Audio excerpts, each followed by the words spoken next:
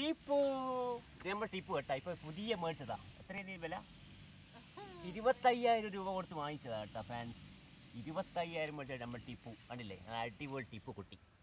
കണ്ടില്ലേ ഫാൻസ് നോക്കിയാ? ഫ്രാൻസ് ടിപ്പു കേട്ടാ? അടിപൊളി ടിപ്പു. ഇരുപത്തയ്യായിരം കൊടുത്ത് മേടിച്ച ഒരു ടിപ്പു ആണ് നമ്മളെ മുമ്പിലുള്ളത്. ആ ആ ടിപ്പു എന്തോ എന്നോട് കളിക്കുന്നുണ്ട്. ആ വാ വാ ടിപ്പു ചൂ.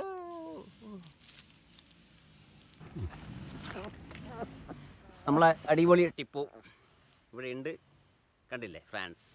നമ്മൾ ടിപ്പു. ടിപ്പു സുഖം തന്നെയല്ലേ ടിപ്പു? അപ്പോൾ ടിപ്പുവിന് നമ്മൾ രാവിലെ പാൽ കൊടുത്ത് ഇനി കുറച്ച് ഭക്ഷണം കൊടുക്കണം. കുറച്ച് കുറച്ച് പാലിൽ കുടിക്കൂ. ടിപ്പു അടിപൊളി അല്ലേ? ഓക്കെ.